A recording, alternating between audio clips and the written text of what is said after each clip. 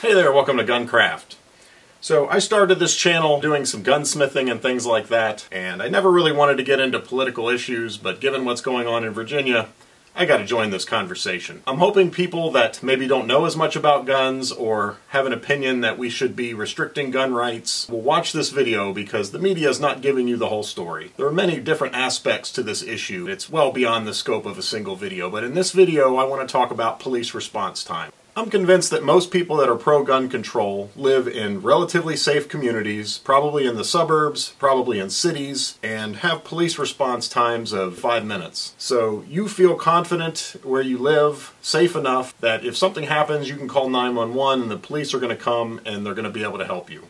Whether that's true or not is a different discussion, but let's just start with that. And you know, if you live in an area like that, Good for you. What I want you to consider is not everybody lives where you live. Half the country lives out in rural areas. You know, some rural areas are more rural than others, obviously. Best case scenario, your police response time is more than 10 minutes. If you've studied this issue at all, you know in an assault situation, 10 minutes is an eternity everything's done. I have many friends who are police officers, and they've told me that, you know, our job isn't to prevent crime. Our job is to come after the fact and, and pick up the pieces and find the bad guys. It's very rare that the police, especially in a rural setting, are able to intervene on an ongoing crime. That almost never happens. Take my county, for example. I live in a very big county. Frequently at night, uh, there's one officer on for the whole county. It takes half an hour to drive from one end of the county to the other. So if I call 911, depending on where that officer is, at best case scenario, it's going to be 15 minutes before he shows up. Best case. Very likely it's going to be much longer. I mean, it takes five minutes to get up my driveway. Let me give you an example. A friend of mine uh, lives on a farm just up the road from me. He came home from work one night and uh, right outside of his farm, he saw a guy laying in the ditch. Uh, to him, looked like a, a, body. He thought he was dead. He stopped, got out, checked the guy. The guy wasn't dead. He was breathing, but he was lethargic and really out of it. What's he do? He calls 911, says, "I need the police. I need an ambulance. Uh, I've got a guy here laying in the ditch. He's not doing well." Here's a serious situation. The police should respond to this, right? I mean, this is this is not uh, a small thing. This person could die. So how long do you think he sits there with this guy before anybody shows up? Remember, he called both an ambulance and the police. How long do you think it was? Five minutes? Ten minutes? It was 45 minutes before the ambulance arrived. At that point, the guy had woken up a little bit. He was doing a little bit better. Thankfully, he hadn't gotten violent or anything like that, and the ambulance took him away. The police didn't show up until a little bit after that. It was about an hour before the police arrived. An hour. I think that makes the point. Living in an area like I do, in a lot of ways, we are on our own. To illustrate this point, we're going to start driving up my driveway while the video continues. So another example, and uh, ironically, he doesn't live in a bad area, but the same friend, same farm. A convict recently escaped from the local prison, and uh, they actually never found him. Uh, he disappeared. This was several months ago, and to this day they haven't found him. He was last seen on my friend's farm. You think he should have to give up his weapons when when we, we've got an escaped convict that was last seen on his property? I mean, obviously, he has a right to be able to defend himself, and these things aren't theoretical these things really happen. You know, there are plenty of, of criminals out there, and most of us don't want to be defenseless against that. And we have a right to own the weapons that society has deemed necessary to deal with those threats. So, what is an appropriate weapon to defend yourself against domestic threats? Well, by definition, that's what the police carry. The police are there to deal with domestic threats. When you call 911, if you're in a, in a city with a police response time of three to five minutes, and you call 911 and say, someone's breaking into my house, they're going to attack me, they're attacking my wife, the police are going to come in force. And what are they going to show up with? Well, they're going to show up with semi automatic weapons they're going to show up with standard capacity magazines, not these 10 round magazines that everybody wants to take the public down to. And there's going to be three, four, five, maybe even more police officers showing up to this. Isn't it kind of hypocritical for someone who lives in an area with a five minute police response time who essentially has multiple hired guns that can show up in a matter of minutes?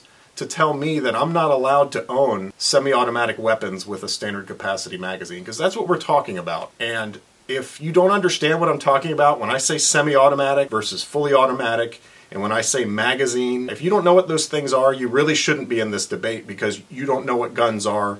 You don't know the subject enough to have an opinion. Uh, if you're not familiar with it, how can you be voting on it? Should you be voting on it? Of course not. It's like Say we were voting on airbags in automobiles and you had no idea what an airbag was, well, you shouldn't be voting because you, you don't know anything about airbags. And so if you don't know anything about guns, you don't know what semi-automatic versus fully automatic, what a magazine is versus a clip, uh, then then you really shouldn't be in this conversation. What I'm basically saying is, by definition, the weapons the police carry are what is effective and necessary to deal with domestic threats. I'm not talking about what the military carries; those are war weapons. And I want to say, you know, here is the dreaded AR-15. The media loves to use the term military-style assault weapons. Just so you know, assault weapon is a made-up term. It doesn't mean anything. It's not a military term. It's not a, a gun term. This is a semi-automatic magazine-fed rifle, and that's what I'm talking about. This is what the police SWAT teams use. This is what the police carry. Most police have semi-automatic magazine-fed pistols on their hip. The only difference between a pistol and a rifle is the length of the barrel.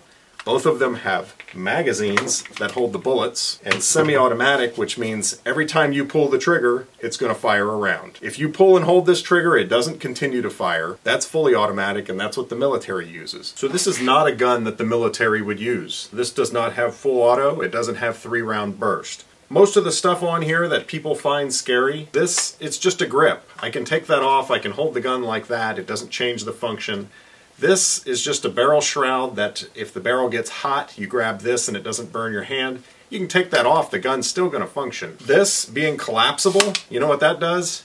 It allows this to fit in my gun safe. The only other thing about that is it allows my children, when they were younger, would be able to shoot it more effectively because the gun wasn't too long for them. This being collapsible, which is a big part of the assault weapons, is meaningless. It doesn't change the effectiveness of the weapon at all. This being a pistol grip, for some reason this scares people.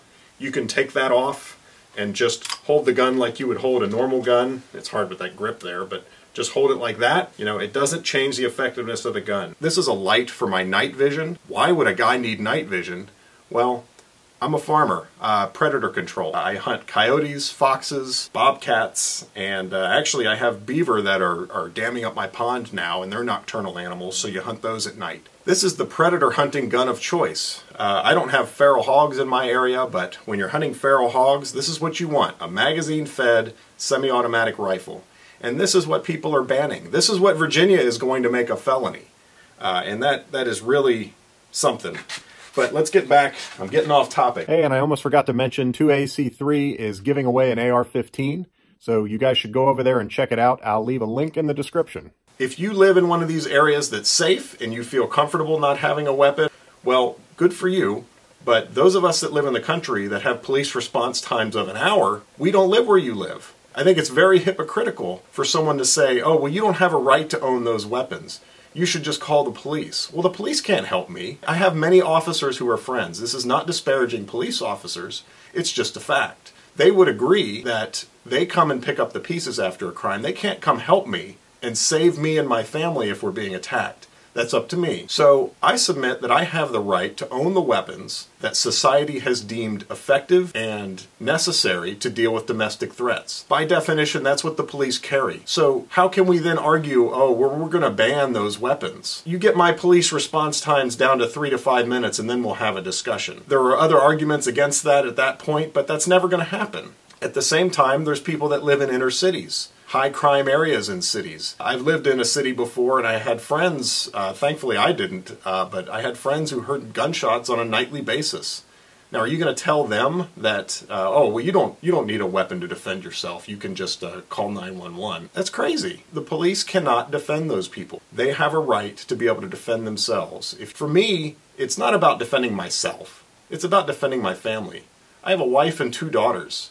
The thought of someone coming in here and attacking my family and me being helpless to do anything about it, calling the police, running away, waiting an hour for them to show up, that's like a nightmare. I have several friends in a neighboring county. At times, they don't have anybody on. At night, they have a, an officer on call, but he is not on duty. He or she is at home or asleep. If they get called, they have to wake up, put on their clothes, get in the car, and go respond. Now, how do you think their police response time is going to be? Do you think they should have to give up their weapons? They don't have the right to semi-automatic weapons to defend themselves from uh, from domestic threats. If we had a real media, they would be informing people of things like this. Police response times in my county are nowhere near the level where I feel comfortable calling 911 for help. And there are millions and millions of people that live in similar circumstances to me, and that is why people are pro gun, because they understand this. Now, I used to live in the suburbs. We had some shotguns that we would use for deer hunting. Guns were just, you know, they were for hunting, it was no big deal. I was naive to this too at that time, and it wasn't until I moved to a truly rural area like my farm where I began to realize, wow, I am out here on my own and I needed to be able to defend myself. And that's when I really became pro gun. So, for those of you out there that uh, are anti gun, are pro gun control, that feel that people are able to own these weapons and shouldn't be, realize that if you were to move to an area like this, you'd probably be changing your tune on that subject. Consider that when you vote. This is very hypocritical for people that live in these safe areas to then turn around and say, oh, you shouldn't be able to own weapons like that to defend yourself and your family.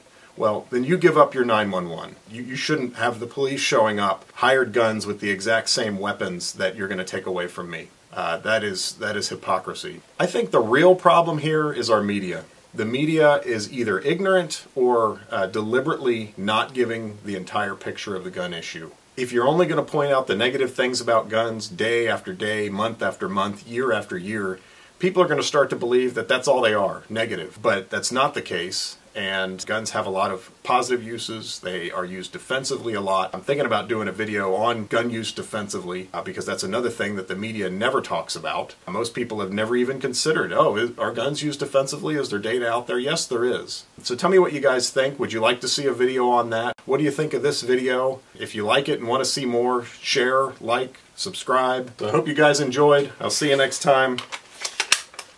I've got some beavers to hunt. See you later.